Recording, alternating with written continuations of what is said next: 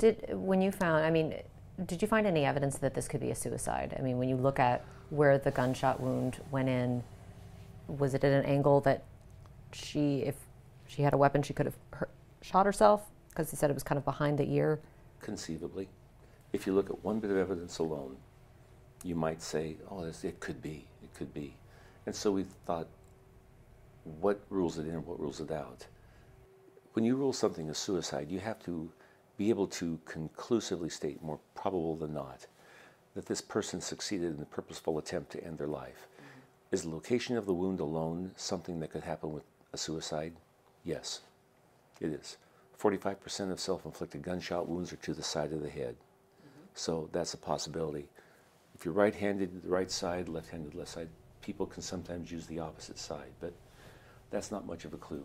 But that's the only thing that points to a suicide with everything else we're dealing with the scene, uh, the lack of any vital reaction to smoke in the air, so many other factors ruled out the suicide completely.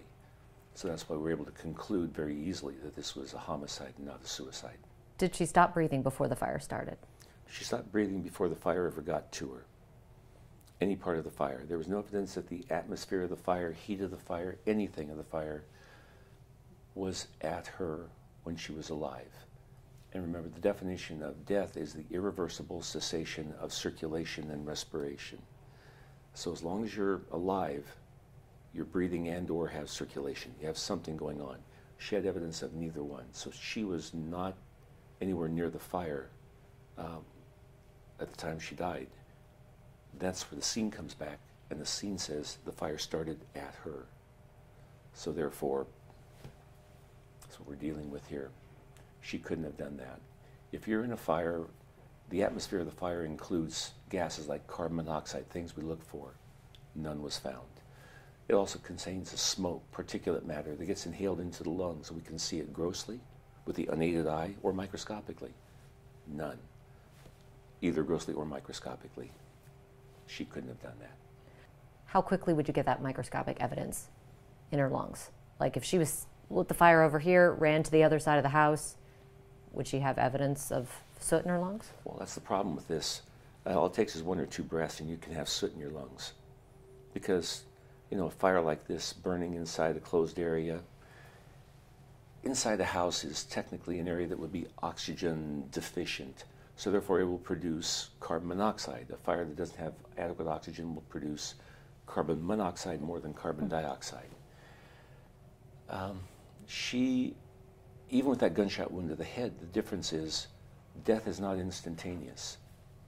Death is a process. If you have complete cessation of breathing, you still will have circulation for a period of five or six minutes, 10 minutes even, witnessed by somebody who's on life support in the hospital and they finally pull the plug. The heart will continue to beat because you don't need brain input to have your heart beat. Same thing, if you have complete cardiac arrest, you will breathe for five or six minutes afterwards because your brain has enough drive down in the brain stem to control the muscles that will breathe for you. They've done studies that demonstrate how if you do have complete cardiac arrest, a person will breathe, or a pig in this case in the studies, would breathe normally for a couple, three minutes, then have the erratic breathing, finally the last gasps, and then stop after about five or six minutes. In five or six minutes, copious soot, smoke would have been there. You'd find evidence of inhalation, and there was none. Plus, there's no evidence on her body that she was ever alive, blistering, or anything being exposed to the heat of the fire. So you only blister when you're alive? Technically, yes. Finding a blister that's full of fluid on an upper body surface of someone who's in the fire indicates that that tissue was damaged and there was blood pressure which could push fluids into the damaged tissues and make a blister. You know, if you get a uh, first degree burn is red, mm-hmm. second degree burn is red and blisters and it's sore. So that blistering indicates that there has been some damage and the circulation will push fluids into it. Now, technically, you could also, by virtue of position of the body, blood will settle down and actually can push some fluid into damages along the sides. None of that occurred.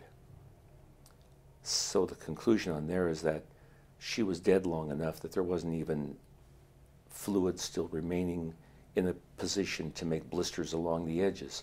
The back of her body that was against the floor was not that badly burned. The front was very badly burned. She, all of her burn injuries were to the front of her body, the exposed areas. She wasn't alive when the fire was reaching her body or the smoke.